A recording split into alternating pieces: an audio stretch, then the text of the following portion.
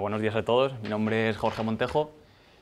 Eh, vengo a presentar eh, un sistema que, ayuda, para, ayuda a la gestión de incidencias o problemas de cara a los ciudadanos en entornos urbanos o ciudades.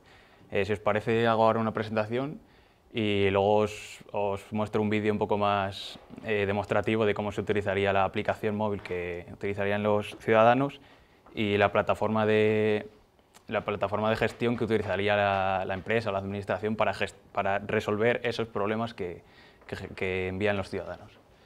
Eh, bueno, ¿qué, ¿qué, sería este sistema? Pues es un sistema que permitiría gestionar lo que pasa en la ciudad en tiempo real. Eh, la información nos llegaría a través de los propios ciudadanos, porque son ellos los que en su día a día, eh, por así decirlo, encuentran problemas a su alrededor y a través de la aplicación nos envían los datos.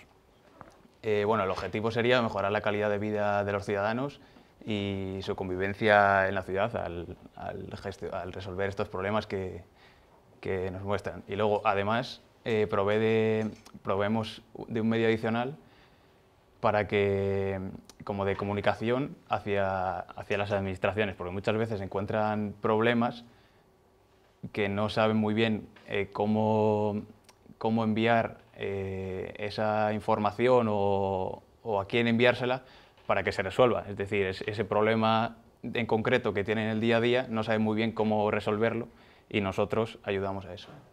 Eh, ¿Cómo funcionaría? Pues eso, está basado en la, colaboración ciudadana. Eh, los usuarios enviarían los incidentes que son a su alrededor mediante la aplicación móvil y el sistema sería el que se encarga de recibir las incidencias, las almacenaría y provee un medio para gestionarlas. Esto es más de, eh, orientado a... El medio para gestionar está orientado más a la, a, la, a la, parte administrativa, a la empresa, que lo gestionaría mediante una plataforma web. Eh, bueno, un esquema así un poco más aclarativo. Eh, las incidencias, que es lo que vemos ahí a la izquierda, entrarían al smartphone a través de los ciudadanos, que son los que van a hacer la notificación se mandarían a una plataforma de gestión, que sería la que controla la administración que sea o la empresa que se encarga de, esa parte en concreto, y luego la, o la propia empresa las gestionaría o se enviaría a una administración competente que pudiera resolverlas. Eh, un aspecto más técnico, eh, podríamos dividirlo en dos partes, una la parte móvil y otra la parte de servidor. Eh, la parte móvil hemos utilizado Xamarin, que nos permitía hacer eh, aplicaciones para varios dispositivos, como en este caso Android y iOS. Y la parte de servidor, pues hemos utilizado un Ubuntu para plataforma web y, bueno, y alojar toda la parte, toda la parte de empresa. Eh, bueno, esto sería un poco lo que es la aplicación móvil.